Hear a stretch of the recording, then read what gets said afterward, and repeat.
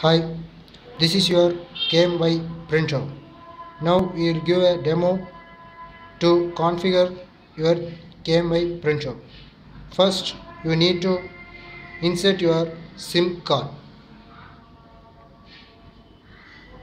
Turn your GPRS printer, unscrew the holes, then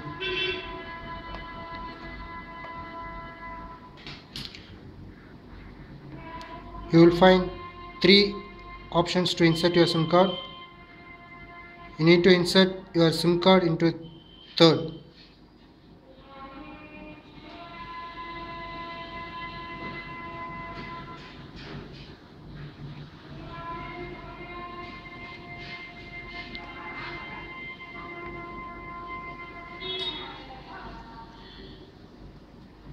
Then close the back cover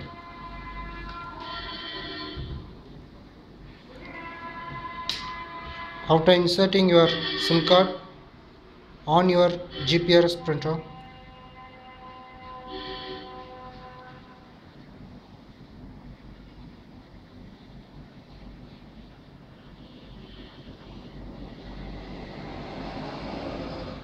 Once you find your SIM card provider go to your menu and choose second option advanced settings and give the input password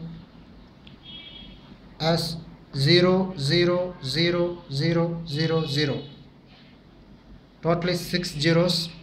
Then go to food order paras second option click confirm. Then choose. Second option APN this is your service provider name next go to your domain or IP port. Click confirm and enter your site name or IP address with comma port number. Then go to order URL and enter the order URL path.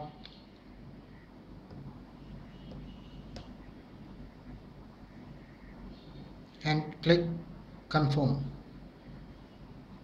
Then move to call back URL and enter your callback URL path name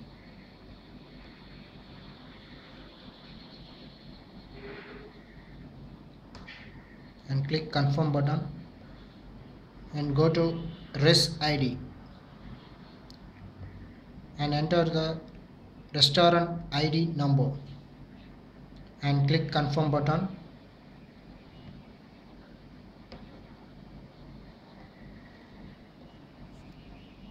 Thank you